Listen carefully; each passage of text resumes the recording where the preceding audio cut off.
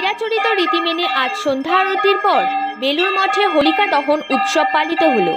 দোলের আগের সন্ধ্যায় মঠের পূর্ব দিকে গঙ্গার পাশে এই অনুষ্ঠান হয়। প্রথমে সন্ন্যাসীরা পূজা করেন, তারপরে হোলিকায় অগ্নি দেওয়া হয়। তারপর সবাই মিলে অনুষ্ঠানে মেতে ওঠেন। আপনারা দেখছেন নিউজ বাংলা। নজর কাড়া খবর।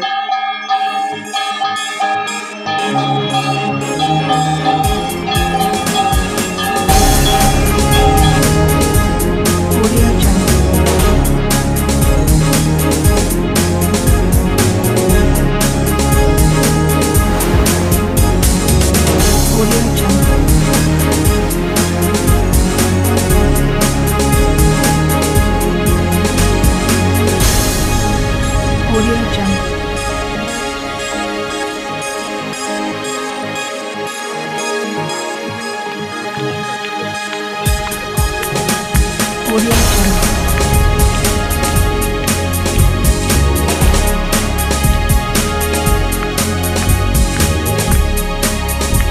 Audio Jungle.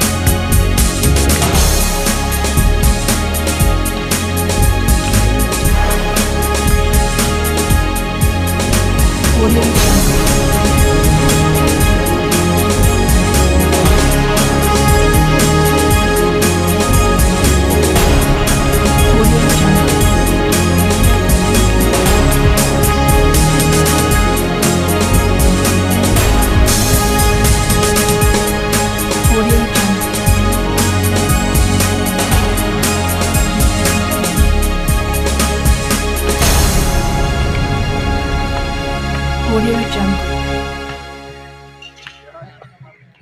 যদি মনে সামনে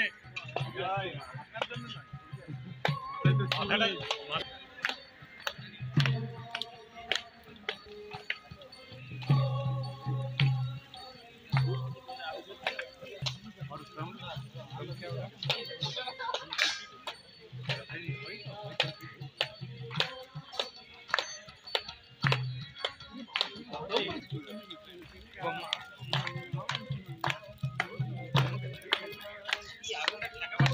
দোল পূর্ণিমা, তার আগে এই হোলিকা সুর এই এটা নিয়ে এটা বহুদিনের একটা পৌরাণিক প্রথা, মঠে ওইগুলো পালন করা হয়, সেই জন্য এই পূজা করে একটুখানি আজকে এই- এই ছোট্ট একটা অনুষ্ঠান করা হয়েছে।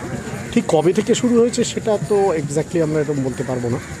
কিন্তু এটা অনেক দিন থেকেই হচ্ছে। আমরাও ছোটোবেলা থেকে যখন মঠে আসছি তখন থেকে দেখেছি জিনিসটা। মানে সাধারণত বাঙালিরা দোলের আগে চাচর পোড়া করে। ওই হ্যাঁ ওটাকে চাচর পোড়া বলে এইটা মানে ওই হোলিকা সুরেই দগ্ধ করা হচ্ছে এই এইরকমভাবে এটাকে দেখা হয়। কোনো কোনো মাই- মাইনর পুরাণে এর উল্লেখও রয়েছে। এখানে রিচুয়াল মানে ওই তো আপনারা দেখলেন পুজো সংক্ষেপে একটু পুজো করা হয় তারপরে ওই একটু আগুন দিয়ে দেওয়া হয় একটা খড়ের ঘর করা হয়েছে। নাম কীর্তন হয়। হ্যাঁ আর ওই হরিনা কালকে যেহেতু দোলপুর গেল সেই জন্য একটু হরিনাম সংকীর্তন হয়। এইটুকু। আপনার নাম মনে দশ এই আমি মঠে আছি নাম দরকার।